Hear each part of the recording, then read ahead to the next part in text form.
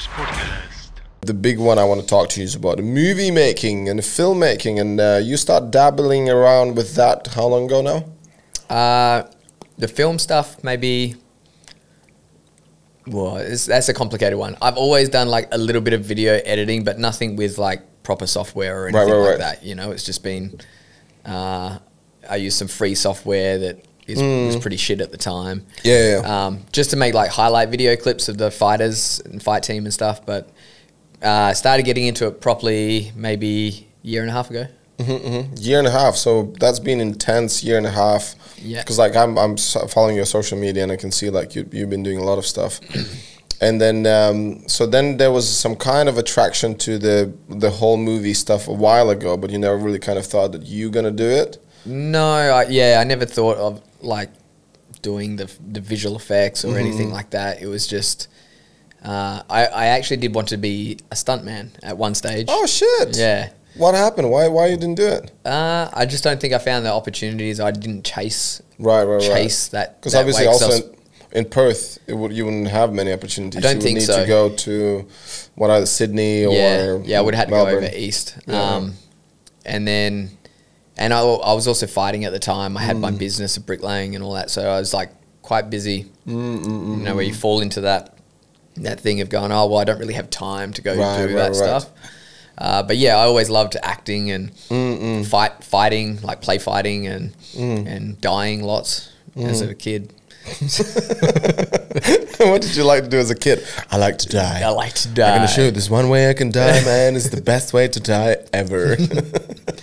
me, me and my friend when we were, I think we were like twelve years old, and we used to love Blade. yeah, yeah. Fuck, we- who we- didn't? Uh, Yeah, so we'd pretend we were fighting vampires all the time, and we'd get beaten up, and I'd like do flips and fall on the floor and all that sort of stuff. right, so right. The movies did some crazy shit with us as Mm. kids. How did it all start? Did you just kind of like, okay, I will try? Was there like you said, like you like the project? So was there like opportunity for a project? Um, no, not to start with. To start with, I I got uh, After Effects, Mm-hmm. which was the VFX sort of stuff uh, through Adobe. I already had Adobe from Photoshop, so Yeah. I used to do a lot of movie posters and stuff like that. And then uh, I just started following some tutorials on on After Effects, and and then I would try to do my own things, but I didn't have much of an imagination, so. Yeah. it was hard. It's hard, like oh, even even with an imagination, I have all these things I want to make, but I either don't have the time or I don't have the money. Mm-hmm. And then uh, the good thing about having projects from other people is they're spending the money and. Right, right, right. And then uh, it allows me to have the time to go do it, and they've also got the imagination. So it's like, yeah. you know, it's Well, yeah, that's the. I think that's probably the best way. So they pay you maybe not a lot of money, but some money. Some money, So it yeah. covers, and you have a little bit of motivation. Yeah. You have a deadline and all these kind of things instead of you just sit on probably how many different projects you can come up with and, and you never really finish them. And Yeah. there's no incentives and no reason for it to finish them. Yeah, Just- just exactly. yourself. Unless it's just for like your own portfolio Yeah. to build, but but even then, it's like you need to buy assets. You need to obviously spend time on it. So Come a bit closer. You're really flying around. I'm there. really flying around. Ryan, podcast properly. Hey. Um, yeah, like yeah, buy assets. You need to take time off of work or whatever it is. So you're losing money there to do Yeah. these projects. Uh, so yeah, it really benefits if you've got somebody who is willing to pay you. Obviously, not the top dollar because you're not The top guy. The top guy, you know. So, but you can produce something. You just need the project and people to pay for some assets so that you can put all those skills to the Yeah, test. but um, you had some some interesting thing going on for what for about how long it took you to finish your project, your short movie, which was released um, what two three weeks Th- three weeks ago, three maybe. weeks ago. Yeah. Yeah, congratulations on that. Thank you. Hey. Um, and um, just you know, I I watched the video.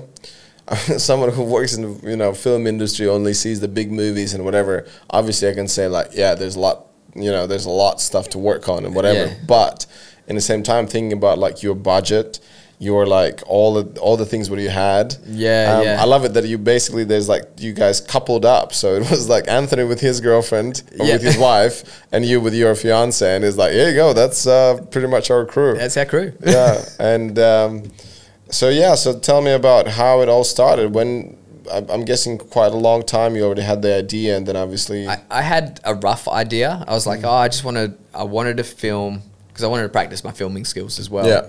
Um, but I wanted to film a fight scene with some VFX, and uh, I had no idea what sort of VFX. I just knew I wanted to do some fight choreography, fight scene, and add some sort of ma- maybe magical effect or or like a lightsaber fight with some Yeah. Star Wars and stuff like that. And then I was like, you know what?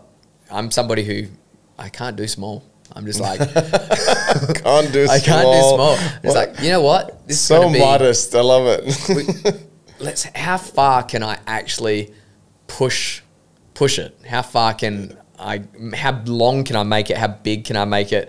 Um, and what can we do? And I was like, oh well, I got no actors, I got no money, I got I got no I don't have the right equipment. I'm like, okay, so let's do a fundraiser, get some money, and then I obviously I didn't make even the fundraising amount of money that I wanted Yeah. which still wouldn't have covered it. Um, but then my fiance Christy jumped in, Anthony and his wife jumped in as actors, and uh, I had a friend who does sound design, so he did all the the mic stuff and, and the sound, uh, which was Mm, yeah, great. shout out out to Anthony. yeah, Obviously, all the rest of the people, but Anthony was on this podcast as well. So Ooh. yeah, we had make a sure you watch that one. nice little chat. Uh, he's he's an interesting dude. Yeah, I really enjoyed talking to him. And uh, yeah, it was great for me to see that like you know people are involved and everything happens. I kind of like in the very beginning. So spoil. Can we do spoiler Yeah, alert? you can do spoiler. Um, I just like in the beginning that I did not buy a second that those were two lesbian lovers. I'm just like, I'm like, I don't know. Is it because because I know that's Anthony's uh, wife? Is it? But it was just like, oh, honey, um, I don't know.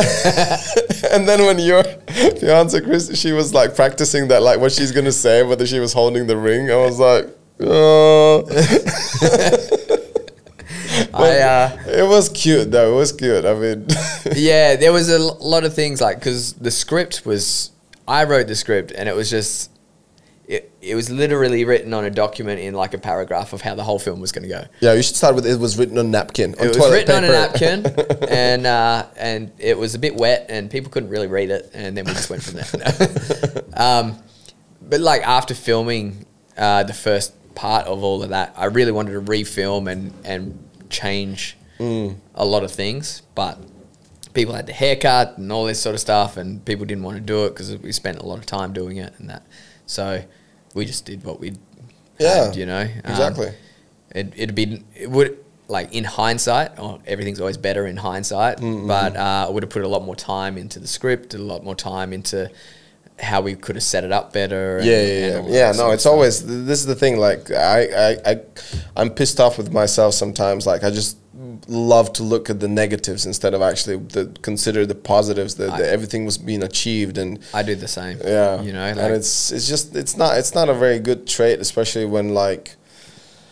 In a sense, like for us to get better, we need to practice. You Yeah. know, like just like I started this podcast. You know, how what did I start it with? Like I had shitty cameras, I had shitty this. I didn't know what I'm talking about, and it was not good. The only way to get better is just to do it again and again and again and again. Yeah. And like Yeah. now, even like for for the next project, you're gonna be so much more aware what you need. so much more aware Definitely need more money. definitely need more Get money. proper actors. yeah Shit.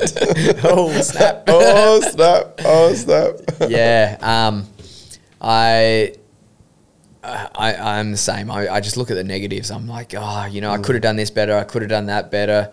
Um, and even with other people who are in the film industry, who are filmmakers, who have made like feature films and mm. Netflix films and stuff like that, they've all praised me on going, you got something out. Yeah, hundred percent. You Totally know, agree. it doesn't matter that it, it's not amazing or mm. great or you know that high high level that you're looking for. You got something out. Yeah, I had yeah. one one of Christie's friends. He's a filmmaker from Australia. Made some feature films and and some other films and stuff. And he he said to me, he goes, I still got friends from film school who are still talking about doing that first project. Yeah, there you go. You Yeah, know, it's been ten years. Oh yeah, thank you. Blah blah blah. Renars podcast.